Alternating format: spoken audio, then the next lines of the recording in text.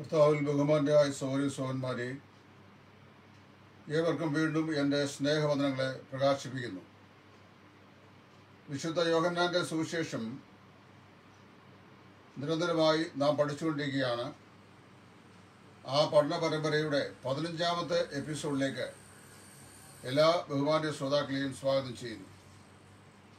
കഴിഞ്ഞ ദിവസം നമ്മൾ പഠിച്ചത് യോഹന്നാന്റെ സുവിശേഷം അഞ്ചാം അധ്യായത്തിന്റെ ഒന്ന് മുതൽ പതിനാറ് വരെയുള്ള വാക്യങ്ങളിലായി.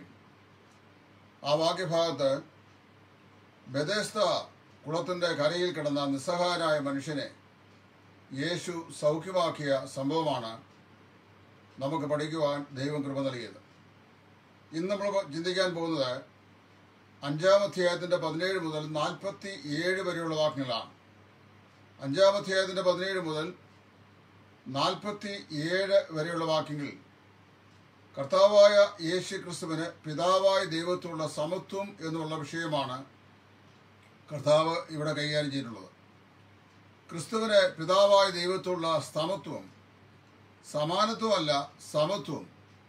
ആ സമത്വം നമ്മുടെ കർത്താവായ യേശു ക്രിസ്തു തന്നെ ഇവിടെ പ്രസ്താവിച്ചിട്ടുണ്ട്.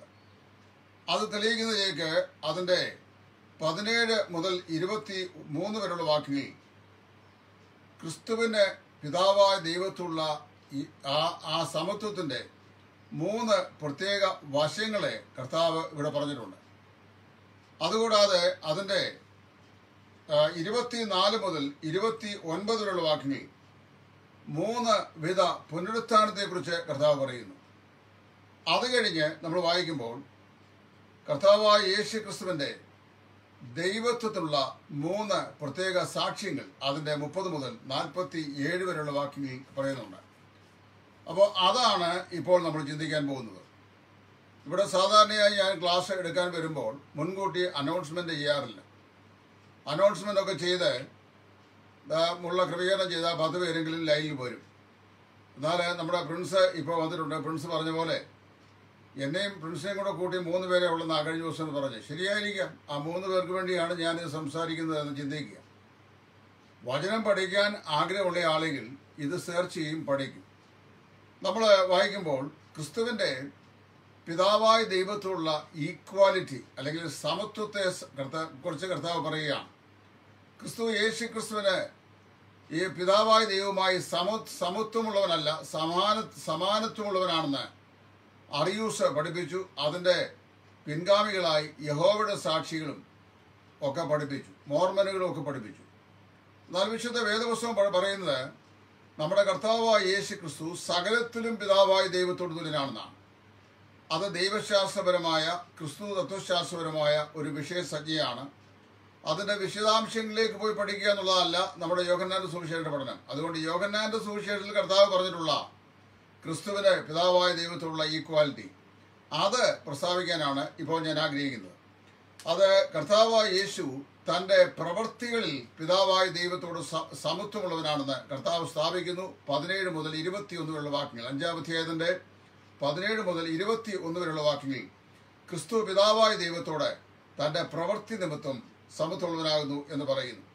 ഇവിടെ നമ്മൾ വായിക്കുന്നത് നമ്മുടെ കർത്താവായ യേശു പതിനാറ് വരെയുള്ള വാക്യങ്ങളിൽ പറയപ്പെടുന്ന ബേദസ്താ കരയിൽ കിടന്ന പക്ഷപാത രോഗിയെ സൗഖ്യമാക്കിയത് ഒരു ശബദ ദിവസമായിരുന്നു. ഈ ശബദ ദിവസം കർത്താവ് ചെയ്യാൻ ശബത്തെ ലംഘിച്ച ലംഘനക്കാരനായിട്ടാണ് ക്രിസ്തുവിനെ യഹൂദന്മാർ കണ്ടത്. അപ്പൊ അങ്ങനെ വന്ന് കണ്ടു കഴിഞ്ഞപ്പോൾ നമ്മൾ വായിക്കുകയാണ് കർത്താവ് ഇവിടെ സ്ഥാപിക്കാൻ ശ്രമിക്കുന്നത് വാസ്തവത്തിൽ ദൈവം സൃഷ്ടിയിൽ ഏഴാം ദിവസം സകലത്തിൽ നിന്ന് നിവൃതനായി എന്ന് വായിക്കുന്നു. God rested from all his creation on the seventh day and he named therefore the seventh day ശബത്ത് എന്നാണ് നമ്മൾ വായിക്കുന്നത്. എന്നാൽ ഉൽപ്പത്തി പുസ്തകം മൂന്നാം അധ്യായത്തിലേക്ക് വരുമ്പോൾ ദൈവത്തിന്റെ ആ സ്വസ്ഥതയ്ക്ക് അല്ലെങ്കിൽ ആ വിശ്രാമത്തിന് മനുഷ്യന്റെ പാപം മുഖാന്തരമായി തടസ്സം വന്നു എന്ന ഉൽപ്പത്തി മൂന്നിൽ വായിക്കുന്നുണ്ട്. ഒന്നും രണ്ടും അധ്യായങ്ങളിൽ ഏഴാം ദിവസം സൃഷ്ടിയിൽ നിന്ന് നിവൃത്തനായ ദൈവം മൂന്നാം അധ്യായത്തിൽ മനുഷ്യൻ പാപം ചെയ്യുകയാൽ അവന്റെ സ്വസ്ഥതയ്ക്ക് ഭംഗമുണ്ടായി. അതായത് അതിൽ ലംഘനമുണ്ടായി. അത് മുതൽ മനുഷ്യന്റെ രക്ഷയ്ക്ക് വേണ്ടി കർത്താവ് ദൈവം നിതാന്തമായി പ്രവർത്തിക്കാൻ തുടങ്ങി എന്നാണ് വിശുദ്ധ വേദപുസ്തകം പറയുന്നത്. ഇവിടെ കൊണ്ട് കർത്താവ് പറയാണ് കർത്താവ് പിതാവായ ദൈവം തനിക്ക് വെളിപ്പെടുത്തി കൊടുത്തതും പിതാവായ ദൈവം തന്നെ ഫലമേൽപ്പിച്ചതുമായ പ്രവൃത്തിയാണ്. ക്രിസ്തു ഇവിടെ ചെയ്തുകൊണ്ടിരിക്കുന്നത്. അതായത് താൻ ചെയ്ത അതിശയ പ്രവൃത്തി ഉൾപ്പെടെ മരിച്ചവരെ ഉയർപ്പിച്ച സംഗതി വരെ പിതാവായ ദൈവം തന്നെ അധികാരപ്പെടുത്തിയ പ്രവൃത്തിയാണെന്നും അതിന് മാനുഷികമാകുന്ന ശബത്തിന്റെ പരിമിതി ഒരു ലംഘനമല്ലെന്നും കർത്താവ് ഈ ഭാഗത്ത് പഠിപ്പിക്കുകയാകുന്നു. അപ്പോൾ ഒന്നാമതായി ചിന്തിക്കേണ്ട വിഷയം പതിനേഴ് മുതൽ ഇരുപത്തിയൊന്ന് വാക്യങ്ങൾ ഇങ്ങനെ പറയുന്നു Christ is equal to father in his work കർത്താവായ യേശു പിതാവായ ദൈവത്തോട് തന്റെ പ്രവൃത്തികൾ സമത്വമുള്ളവനാണ്. രണ്ട് ഇരുപത്തിരണ്ടാം വാക്യത്തിൽ നാം ഇങ്ങനെ വായിക്കുന്നുണ്ട് പിതാ ഈ എല്ലാവരും പിതാവിനെ ബഹുമാനിക്കുന്ന പോലെ പുത്രനെയും ബഹുമാനിക്കേണ്ടതിന് പിതാവ് ആരെയും ന്യായം വിധിക്കാതെ ന്യായവിധി എല്ലാം പുത്രനെ ഏൽപ്പിച്ചിരിക്കുന്നു. അപ്പോൾ he is equal with the father in judgment അതായത് കർത്താവായ യേശു പിതാവായ ദൈവത്തോട് ന്യായവിധിയോട് ബന്ധം ന്യായം വിധിക്കുന്ന വിഷയത്തോട് ബന്ധത്തിൽ തുല്യനാണ്. എന്നാണ് നമ്മൾ വായിക്കുന്നത്. അപ്പോൾ കാരണം പിതാവായ ദൈവ ദൈവത്തിന് മാത്രമേ മനുഷ്യന്റെ പാപത്തിനെതിരെ അവനെ ന്യായം വിധിക്കാൻ അധികാരമുള്ളൂ. ക്രിസ്തു ന്യായവിധി നടത്തുവാൻ അധികാരസ്ഥനായ പുരുഷനാണെന്ന് പറയുമ്പോൾ അവൻ ദൈവമാണെന്നും പിതാവിനോട് തുല്യനാണെന്നുമാണ് ആ വാദോന്മുഖം അവിടെ സമർത്ഥിക്കുന്നത്. മൂന്ന് he is equal in honour with a father പിതാവിനെ പോലെ ഇവരെ എല്ലാവരും ക്രിസ്തു എല്ലാവരും ബഹുമാനിക്കപ്പെടുവാൻ പിതാവിനോടുള്ള ബഹുമാനത്തിൽ അവൻ തത്തുല്യനാണ്. ഇരുപത്തിമൂന്നാം വാക്യം. വാസ്തവത്തിൽ ഈ ദൈവത്തിന് അർഹിക്കുന്ന ബഹുമാനം മർത്യന് ഒരിക്കലും അവകാശപ്പെടാൻ കഴിയുകയില്ല. അങ്ങനെയാണ് അതേസമയത്ത് കർത്താവ് യേശു എല്ലാവരും പിതാവിനെ ബഹുമാനിക്കുന്ന പോലെ പുത്രനെയും ബഹുമാനിക്കേണ്ടത് എന്ന് പറയുമ്പോൾ പിതാവിന് എന്ത് ആദരവ് മനുഷ്യൻ കൊടുക്കുന്നു അതേ ആദരവ് പുത്രനായ യേശു ക്രിസ്തുവിനും അർഹമായിരിക്കുന്നു എന്നാണ് പറയുന്നത്. അപ്പോൾ ക്രിസ്തുവിന് പിതാവായ ദൈവത്തോടുള്ള ദൈവതത്വത്തിലെ ആ ആ പറയപ്പെട്ട തുല്യത്വം എന്ന് പറയുന്നത് മൂന്ന് മേഖലകളിലാണ് കർത്താവ് സ്ഥാപിക്കുന്നത്. പതിനേഴ് മുതൽ ഇരുപത്തൊന്നിലുള്ള വാക്യങ്ങൾ അവന്റെ പ്രവൃത്തിയിൽ അവൻ പിതാവിനോട് സമത്വമുള്ളവനാണ്. ഇരുപത്തിരണ്ടാം വാക്യത്തിൽ ന്യായവിധിയിൽ അവൻ പിതാവിനോട് സമത്വമുള്ളവനാണ്. പിന്നെ ഇരുപത്തി മൂന്നാം വാക്യത്തിൽ അവൻ ബഹുമാനത്തിൽ പിതാവിനോട് സമത്വം ഉള്ളവനാണ്. ഇനി നമ്മൾ ഇരുപത്തിനാല് മുതൽ ഇരുപത്തി ഒൻപതിലുള്ള വാക്യം നോക്കാം. അവിടെ മൂന്ന് വ്യത്യസ്തമായ പുനരുത്ഥാനത്തെ കുറിച്ചാണ് കർത്താവ് പറയുന്നത്. ത്രീ ഫോൾഡ് റെസറക്ഷൻ മൂന്ന് വ്യത്യസ്തങ്ങളായ പുനരുത്ഥാനങ്ങൾ. ഏതൊക്കെയാന്ന് നോക്കാം. ഒന്ന് resurrection of the dead sinners today അതായത് ഇരുപത്തിനാല് മുതൽ ഇരുപത്തിയേഴ് വരെയുള്ള വാക്യങ്ങൾ നമ്മൾ വായിക്കുന്നത് അതായത് പാപത്തിൽ മരിച്ച അതിക്രമങ്ങളിലും പാപങ്ങളിലും മരിച്ച മനുഷ്യന് ഇന്ന് ലഭിച്ചുകൊണ്ടിരിക്കുന്ന പുനരുത്ഥാനം അല്ലെങ്കിൽ ഉയർത്തെഴുന്നേൽപ്പ്. അതെന്താണെന്ന് എഫ് എസ് ലേഖനം രണ്ടിന്റെ ഒന്ന് മുതൽ മൂന്നുള്ള വാക്കിൽ വായിച്ചാൽ നമുക്ക് വ്യക്തമായി മനസ്സിലാക്കുവാൻ സാധിക്കും. അതിക്രമങ്ങളിലും പാപങ്ങളിലും മരിച്ചവരായിരുന്ന നിങ്ങളെയും അവൻ ഉയർപ്പിച്ചു എന്നാണ് പൗലോസ് അവിടെ പറയുന്നത്. അപ്പൊ അതിക്രമങ്ങളിലും പാപങ്ങളിലും മരിച്ചിടക്കുന്ന മനുഷ്യനെ പാപിയായ മനുഷ്യനെ ഇന്ന് വിശ്വാസത്താൽ ദൈവത്താൽ കർത്താവായ യേശു ക്രിസ്തുവിനാൽ ലഭിക്കുന്ന വീണ്ടും ജനത്താൽ ഉണ്ടാകുന്ന ഉയർത്തെഴുന്നേൽപ്പ് ആത്മീയമായ ഉയർപ്പിനെയാണ് ഇവിടെ വാസ്തവത്തിൽ ഈ resurrection of the dead sinners today എന്നതുകൊണ്ട് ഉദ്ദേശിക്കുന്നത്. അതായത് പാപികളായ മനുഷ്യവർഗത്തിന് ഇന്ന് അനുഭവവേദ്യമാകുന്ന ആത്മീകമായ പുനരുദ്ധാനം. ഇന്ന് നാം കർത്താവായ യേശു ക്രിസ്തുവിനും അവിടുത്തെ വചനത്തിന് വിശ്വസിക്കുമ്പോൾ വാസ്തവത്തിൽ നാം പുനരുദ്ധാനം പ്രാപിക്കുന്നു. അല്ലെങ്കിൽ അതിക്രമങ്ങളിലും പാപങ്ങളിലും മരിച്ചവരായിരുന്നു. നമുക്ക് ഒരു ഉയർത്തെഴുന്നേൽപ്പ് ലഭിക്കുന്നു. ആ ഉയർത്തെഴുന്നേൽപ്പിനെ സ്പിരിച്വൽ റെസറക്ഷൻ അല്ലെങ്കിൽ ആത്മീയമായ ഉയർത്തെഴുന്നേൽപ്പ് എന്നാണ് പറയുന്നത്. ഇവിടെ കർത്താവായ യേശു സൗഖ്യമാക്കിയ മനുഷ്യൻ.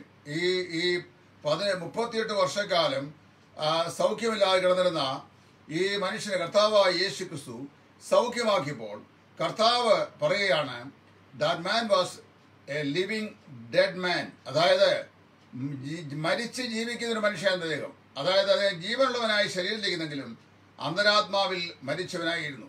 എന്നാൽ അവൻ ദൈവത്തിന്റെ വചനം കേൾക്കുകയും കർത്താവായ യേശു ക്രിസ്തു ദൈവത്തിന്റെ വചനം കേട്ട് അവനിൽ വിശ്വസിച്ചപ്പോൾ കർത്താവ് അവന് പുതുജീവൻ നൽകുകയും അവൻ ആ ശരീരത്തിൽ പുതുജീവൻ പ്രാപിച്ചവനായി തീരുകയും അത്ര ചെയ്യുന്നത്. നമ്മുടെ കർത്താവായ യേശു ക്രിസ്തു യോഗന്നാൻ പതിനാല് ആറിൽ പറഞ്ഞത് ഞാൻ തന്നെ പുനരുദ്ധാനവും ജീവനും ആകുന്നു എന്നാണ്. So Christ himself is life കർത്താവായ യേശു താൻ തന്നെ ജീവനാണ്. അപ്പോൾ കർത്താവായ യേശു ക്രിസ്തുവിൽ ഒരുവൻ വിശ്വസിക്കുമ്പോൾ എന്ത് ചെയ്യുന്നു? ദൈവം കർത്താവ് അവന് ജീവനെ നൽകുകയും അവൻ പുതുജീവൻ പ്രാപിച്ചവരായി പുനരുത്ഥാനത്തിന്റെ പങ്കാളിയാകുകയും ചെയ്യുന്നു. അങ്ങനെ കർത്താവായ യേശു ക്രിസ്തു വിശ്വസിക്കുന്ന ഏത് പാപിയും വാസ്തവത്തിൽ നമ്മൾ വായിക്കുന്നത് പുതുജീവൻ പ്രാപിച്ച് പുനർ ആത്മീകമായ പുനരുത്ഥാനത്തിന്റെ പങ്കാളിത്തം ഉള്ളവരായിത്തീരുന്നു എന്നാണ്. രണ്ടാമത് പറയുന്നത് റെസറക്ഷൻ ആൻഡ് ടു ലൈഫ് അതാണ് ഇരുപത്തിയെട്ട് മുതൽ ഇരുപത്തിയൊൻപതിലുള്ള വാക്കിൽ വായിക്കുന്നത്. അപ്പൊ ആത്മീക ഉയർപ്പിനെ സംബന്ധിച്ച് ഇരുപത്തിനാല് മുതൽ ഇരുപത്തി ഏഴ് വരെയുള്ള വാക്യങ്ങളിലും അടുത്തതായി വിശ്വാസികൾ ആയ വിശുദ്ധന്മാർക്ക് ലഭിക്കാൻ പോകുന്ന പുനരുദ്ധാനം ഈ നിത്യജീവന്റെ പുനരുദ്ധാനം അത് വിശുദ്ധന്മാർക്കുള്ള അവകാശമാണ്. ഒന്ന് ദസോണി നാലാമധ്യായത്തിന്റെ പതിനാറ് മുതൽ പതിനെട്ട് വരെയുള്ള വാക്യങ്ങളിലും. കുരുന്നിലേക്ക് കഴുതിയ ഒന്നാം ലേഖനം പതിനഞ്ചാം അധ്യായത്തിന്റെ അൻപത്തിയൊന്ന് മുതൽ അൻപത്തിയെട്ട് വരെയുള്ള വാക്യങ്ങളിലും. അപ്പോസ്റ്റലായ പൗലൂസ് പ്രതിപാദിച്ചുള്ള പുനരുദ്ധാനമാണ് ഇവിടെ പറയപ്പെടുന്ന നിത്യജീവനിലേക്കുള്ള പുനരുദ്ധാനം. അത് വിശുദ്ധന്മാരുടെ അവകാശമാണ്. വിശുദ്ധ വേദപുസ്തകം does not teach about a general resurrection പൊതുവായി എല്ലാവരും കൂടെ ഉയർക്കുന്ന ഉയർപ്പിനെ കുറിച്ച് ബൈബിൾ പഠിപ്പിക്കുന്നില്ല. But Bible says when the trumpet sounds the dead in Christ are rise first കർത്താവായ യേശു കാഹളം നിരയ്ക്കുമ്പോൾ കർത്താവായ യേശു ക്രിസ്തുവിനെ വിശ്വസിച്ചവരെല്ലാവരും പുനരുദ്ധാനം ചെയ്യും എന്നാണ് ദൈവത്തിന്റെ വചനം പറയുന്നത്. അപ്പോൾ വിശുദ്ധന്മാരുടെ ഭാഗ്യകരമായ പ്രത്യാശയായ നിത്യജീവനിലേക്കുള്ള പുനരുദ്ധാനം അത് വിശ്വാസികൾക്കുള്ള ലഭിക്കാൻ പോകുന്ന വിദൂര ഭാവിയിലെ പുനരുദ്ധാനമാണ്. ഇനി മൂന്നാമത് പറയുന്നത് റെസറക്ഷൻ ഓഫ് ഡാമിനേഷൻ അതായത് നിത്യശിക്ഷാപതിക്കായിട്ടുള്ള ഉയർത്തെഴുന്നേൽപ്പ്. അത് അഞ്ചാം അധ്യായത്തിന്റെ ഇരുപത്തി ഒൻപതാം വാക്കിൽ വായിക്കുന്നു. ഇവിടെ നമ്മൾ വായിക്കുന്നത് കല്ലറകളുള്ളവരെല്ലാവരും ദൈവത്തിന്റെ ശബ്ദം കേൾക്കുകയും നന്മ ചെയ്തവർ ജീവനായും തിന്മ ചെയ്തവർ ന്യായവിധിക്കായും പുനരുദ്ധാനം ചെയ്യുവാനുള്ള നാഴിക വരുന്നു. നമ്മുടെ കർത്താവായ യേശു ക്രിസ്തു പുതിയ ആകാശവും പുതിയ ഭൂമിയും സൃഷ്ടിക്കുന്നതിന് തൊട്ടു മുമ്പ് സഹസ്രാബ്ദ വാഴ്ചയുടെ സഹസ്രാബ്ദ വാഴ്ചയുടെ അന്ത്യത്തിൽ അന്ത്യത്തിൽ കർത്താവായ യേശു ആയിരം വർഷം അക്ഷരീയമായി എരിശിലേയും തലസ്ഥാനമാക്കി ലോകത്തിന്റെ ഭരണചക്രം ഏറ്റെടുത്ത് ലോകത്തിൽ ഭരിച്ച ശേഷം ആയിരം ആണ്ടിന്റെ അവസാനത്തിൽ അരങ്ങേറാൻ പോകുന്ന പുനരുദ്ധാനമാണ്. അവിശ്വാസികളുടെ പുനരുദ്ധാനമാകുന്ന റെസറക്ഷൻ ഓഫ് ഡാമിനേഷൻ അതായത് നിത്യശിക്ഷാവധിക്കാനുള്ള പുനരുദ്ധാനം. അപ്പോൾ വാസ്തവത്തിൽ ഇരുപത്തിനാല് മുതൽ ഇരുപത്തിയൊൻപതിലുള്ള വാക്യങ്ങളിൽ മൂന്ന് പുനരുദ്ധാനത്തെ കുറിച്ചാണ് കർത്താവ് പറയുന്നത്. ഒന്ന് resurrection of the dead സിൻഡേഷ് today മരിച്ചവരായി അതിക്രമങ്ങളിലും പാപങ്ങളിലും മരിച്ചവരായി ജീവിക്കുന്ന പാപികളുടെ മാനസാന്തരത്താൽ ഉണ്ടാകുന്ന പൊതുജനനമാകുന്ന ആത്മീക പുനരുദ്ധാനം. രണ്ട് റെസറക്ഷൻ അൺടു ലൈഫ് അതായത് നിത്യജീവനിലേക്കുള്ള പുനരുദ്ധാനം അതായത് വിശുദ്ധന്മാരുടെ പുനരുദ്ധാനം കർത്താവിന്റെ രണ്ടാമത്തെ പ്രതീക്ഷയെങ്കിൽ സംഭവിക്കുന്നത്. മൂന്നാമത് റെസറക്ഷൻ ഓഫ് ഡാമിനേഷൻ അതായത് നിത്യശിക്ഷാവധിക്കാരുടെ പുനരുദ്ധാനം. അപ്പൊ വാസ്തവത്തിൽ പുനരുദ്ധാനം അർത്ഥത്തിൽ പുനരുദ്ധാനം നില മൂന്നേ ഉള്ളൂ. പുനരുദ്ധാനങ്ങൾ അനുഭവത്തിൽ നാലുണ്ട്. നിര എന്ന് പറയുന്നത് ഒന്ന് കൊടുത്ത് പതിനഞ്ച് ഇരുപത്തി മൂന്നാണ് ആദ്യ ഫലം ക്രിസ്തു പിന്നെ ക്രിസ്തുവിനുള്ളവർ അവന്റെ വരവെങ്കിൽ പിന്നെ അവസാനം. എന്നാൽ അനുഭവത്തിൽ വരുമ്പോൾ ആത്മീകമായി നാം അനുഭവിക്കുന്ന വീണ്ടും ജന്മം അനു അനു അനുഭവത്തിലെ പുനരുത്ഥാനം എന്ന് പറയുന്നത് വിശ്വാസി അൽഭാവി അനുഭവിക്കുന്ന ആദ്യത്തെ പുനരുദ്ധാനം രണ്ടാമത്തെ വിശുദ്ധന്മാരുടെ കർത്താവായ യേശു ക്രിസ്തുവിന്റെ കർത്താവായ യേശു ക്രിസ്തുവിന്റെ പുനരുദ്ധാനം അത് ഒന്ന് വരുന്ന പതിനഞ്ച് ഇരുപത്തിൽ പറയുന്നു. പിന്നെ പറയുന്നു ഒന്ന് വരുന്ന പതിനഞ്ചിന്റെ അൻപത്തൊന്ന് മുതൽ അൻപത്തിയെട്ടിലുള്ള വാക്യങ്ങൾ. ഒന്ന് ദിവസത്തോടെ നാലിന്റെ പതിനാറ് മുതൽ പതിനെട്ടിലുള്ള വാക്യങ്ങൾ പറയപ്പെടുന്ന സിദ്ധന്മാരുടെ പുനരുദ്ധാനം. പിന്നെ നാം വായിക്കുന്നത് വെളിപ്പാട് പുസ്തകം ഇരുപതിന്റെ പതിനൊന്ന് മുതൽ പതിനഞ്ച് വരെയുള്ള വാക്കിൽ പ്രതിപാദിക്കുന്ന ദുഷ്ടന്മാരുടെ അല്ലെങ്കിൽ അവിശ്വാസികളുടെ പുനരുദ്ധാനം. അത് സഹസ്രാബ്ദ വാഴ്ചയുടെ അന്ത്യത്തിൽ വെള്ള സിംഹാസനത്തിന്റെ മുമ്പാകെ വെളിപ്പെടേണ്ടതിന് പുതിയ ആകാശവും പുതിയ ഭൂമിയും ദൈവം സൃഷ്ടിക്കും മുമ്പ് അരങ്ങേറേണ്ട പുനരുദ്ധാനമാണ്. അപ്പോൾ ആദ്യത്തെ ഭാഗം നമ്മൾ പഠിച്ചത് പിതാവായ ദൈവത്തോടുള്ള ക്രിസ്തുവിന്റെ സമത്വത്തിന്റെ മൂന്ന് വശങ്ങളാണ്. ഒന്ന് തന്റെ പ്രവൃത്തികൾ പിതാവിനോട് സമത്വ പിതാ- പിതാവിനോട് താൻ തുല്യനാണെന്ന് വെളിപ്പെടുന്നു. രണ്ട് അവന്റെ ന്യായവിധിയുടെ അധികാരം താൻ പിതാവിനോട് തുല്യനാണെന്ന് വെളിപ്പെടുന്നു. മൂന്ന് പിതാവിനോട് കൂടെ അവൻ ബഹുമാനിക്കപ്പെടുന്നത് അവൻ പിതാവിന് തുല്യനാണെന്ന് വെളിപ്പെടുന്നു. അത് കഴിഞ്ഞ് മൂന്ന് പുനരുദ്ധാനങ്ങളെ കുറിച്ചാണ് നമ്മൾ പഠിച്ചത്. ഒന്ന് ആത്മീക പുനരുദ്ധാനം. രണ്ട് വിശുദ്ധന്മാരെ വരുവാനുള്ള പുനരുദ്ധാനം മൂന്ന് നിത്യശിക്ഷാവധിക്കായിട്ടുള്ള പുനരുദ്ധാനം. അടുത്തത് നമ്മൾ വായിക്കുന്ന മുപ്പത് മുതൽ നാൽപ്പത്തി ഏഴ് വരെയുള്ള വാക്യങ്ങളാണ്. അഞ്ചാം അധ്യായത്തിന്റെ മുപ്പത് മുതൽ നാൽപ്പത്തി ഏഴുള്ള വാക്യങ്ങൾ. അവിടെ നമ്മൾ വായിക്കുന്നത് കർത്താവായ യേശു ക്രിസ്തുവിന്റെ ദൈവത്വത്തിനുള്ള മൂന്ന് തെളിവുകൾ സാക്ഷികളാണ് ദൈവത്തിനുള്ള മൂന്ന് സാക്ഷികൾ threefold witnesses to Christ deity കർത്താവായ യേശു ക്രിസ്തുവിന്റെ ദൈവത്തിലുള്ള മൂന്ന് സാക്ഷികൾ മുപ്പതിന് മുതൽ നാൽപ്പത്തേഴ് വരെ. ഒന്ന് യോഹന്നാൻ സ്നാപകന്റെ സാക്ഷ്യം മുപ്പത് മുതൽ മുപ്പത്തി അഞ്ച് വരെയുള്ള വാക്യങ്ങൾ യോഹന്നാൻ ഈ കർത്താവായ യേശു ക്രിസ്തുവിനെ കുറിച്ച് സാക്ഷ്യം പറഞ്ഞു. ആ സാക്ഷ്യം പറയും കർത്താവിന്റെ ശുശ്രൂഷയിൽ ഈ യോഹന്നാൻ സാ- സ്നാപകന്റെ ശുശ്രൂഷയിൽ ജനം സന്തോഷിച്ചതായി നമ്മൾ വായിക്കുന്നുണ്ട്. എങ്കിലും അവർ എന്ത് ചെയ്തു? അവനെ ഉപേക്ഷിച്ച് കളഞ്ഞു എന്നും അവനെയും അവരുടെ സന്ദേശത്തെയും ഉപേക്ഷിച്ച് കളഞ്ഞു എന്ന് വായിക്കുന്നുണ്ട്. അവിടെ വായിക്കുമ്പോൾ ഒന്നാം അധ്യായത്തിന്റെ പതിനഞ്ച് മുതൽ മുപ്പത്തിനാല് വരെയും മൂന്നിന്റെ ഇരുപത്തിയേഴ് മുതൽ ഇരുപത്തി മുപ്പത്തി ആറ് വരെയുള്ള വാക്കിൽ വായിക്കുമ്പോൾ ആ വസ്തുത നമുക്ക് കാണാൻ കഴിയും. യോഹന്നാൻ പറഞ്ഞു എന്റെ ഞാൻ നിങ്ങളെ വെള്ളം കൊണ്ട് മാത്രം സ്നാനപ്പെടുത്തുന്നു. എന്റെ പിന്നാലെ ഒരുവൻ വരുന്നുണ്ട്. അവൻ എനിക്ക് മുമ്പേ ഉള്ളവനാണ്. അവന്റെ ചെരുപ്പിന്റെ വാറഴിപ്പാൻ ഞാൻ യോഗ്യനല്ല. അവൻ നിങ്ങളെ പരിശുദ്ധാത്മാവിലും തീയിലും സ്നാനം കഴിപ്പിക്കും. അപ്പോൾ വരുവാനുള്ള ആ ക്രിസ്തുവിൽ നിങ്ങൾ വിശ്വസിക്കണം എന്നാണ് യോഹന്നാൻ തന്റെ പ്രസംഗം കേൾക്കുവാൻ തടിച്ചുകൂടിയ യഹൂദ പുരുഷാരത്തോടെ പ്രസ്താവിച്ചത്. അപ്പോൾ ഒന്നാമത്തെ സാക്ഷി ക്രിസ്തുവിന്റെ ദൈവത്വത്തിന്റെ ഒന്നാമത്തെ സാക്ഷി യോഹന്നാൻ സ്നാപകനാണ്. രണ്ട് കർത്താവായ യേശു ക്രിസ്തുവിന്റെ പ്രവൃത്തികൾ താൻ ദൈവമാണെന്ന് തെളിയിക്കുന്നു. മുപ്പത്തി ആറാം വാക്യം. അത് നിക്കോദമോസും സമ്മതിച്ചാണ്. അതായത് നീ ഉയരത്തിൽ നിന്ന് വരുന്നില്ല എങ്കിൽ സ്വർഗത്തിൽ നിന്ന് വരുന്നില്ല എങ്കിൽ ഈ പറയപ്പെടുന്ന അത്ഭുതങ്ങളൊന്നും നിന്നെ കൊണ്ട് ചെയ്യാനായിട്ട് കഴിയുകയില്ല എന്ന് നിക്കോദിമോസും സാക്ഷിക്കുന്നുണ്ട്. മൂന്നാം അതിന്റെ രണ്ടാം വാക്യത്തിൽ. അപ്പോൾ കർത്താവായ യേശു ക്രിസ്തുവിന്റെ പ്രവൃത്തികൾ താൻ ദൈവമാണെന്ന് തെളിയിക്കുന്നു. അതായത് ദൈവത്തിന് മാത്രം ചെയ്യാൻ കഴിയുന്ന പ്രവൃത്തികളാണ് കർത്താവായ യേശു ക്രിസ്തു ഭൂമിയിലായിരുന്നപ്പോൾ ചെയ്തത്. മൂന്ന് ദൈവത്തിന്റെ വചനത്തിലൂടെ പിതാവായ ദൈവം ക്രിസ്തുവിന്റെ ദൈവത്വത്തെ സാക്ഷിക്കുന്നു. മുപ്പത്തിയേഴ് മുതൽ നാൽപ്പത്തിയേഴ് വരെയുള്ള വാക്കുകൾ. അതായത് ദൈവവചനത്തിലൂടെ പിതാവായ ദൈവം സാക്ഷിക്കുകയാണ്. പഴയ തിരുവഴുത്തുകൾ മുഴുവൻ തന്റെ പുത്രനായ ക്രിസ്തുവിനെ കുറിച്ചുള്ള പിതാവായ ദൈവത്തിന്റെ സാക്ഷ്യമാണ്. യഹൂദന്മാരെ തിരുവഴുത്തുകളെ സൂക്ഷ്മ പരിശോധന ചെയ്യുന്ന ആളുകളായിരുന്നു. അപ്പം അവരങ്ങനെ ചിന്തിച്ചത് തിരുവഴുത്തുകളെ പഠിച്ചാൽ അല്ലെങ്കിൽ അതിലെ ന്യായപ്രമാണത്തെ സൂക്ഷ്മ പരിശോധന ചെയ്താൽ രക്ഷപ്രാപിപ്പാൻ കഴിയും എന്നാണ് അവർ അന്ധമായി ചിന്തിച്ചത്. എന്നാൽ അവരെ വാസ്തവത്തിൽ ആത്മീകമായി അന്ധത നിറഞ്ഞ നയനങ്ങൾ കൊണ്ടായിരുന്നു ഈ തിരുവഴുത്തുകളെ വായിച്ചതും പരിശോധിച്ചതും. കാരണം നിന്ന് യമൂസിലേക്ക് പോയ രണ്ട് ശിഷ്യന്മാരെ കർത്താവിന്റെ പുനരുദ്ധാനത്തിനും കർത്താവ് അവരെ അനുഗമിക്കുമ്പോൾ അവിടെ അവിടെ നമ്മൾ വായിക്കുന്ന ഹാ മന്ദബുദ്ധികളെ മോശയും പ്രവാചകന്മാരും എഴുതിയിരിക്കുന്നത് വിശ്വസിക്കാത്തവരെ എന്ന് പറഞ്ഞാണ് തിരുവഴുത്തുകളെ അവർക്ക് വ്യാഖ്യാനിച്ചു കൊടുത്തത്.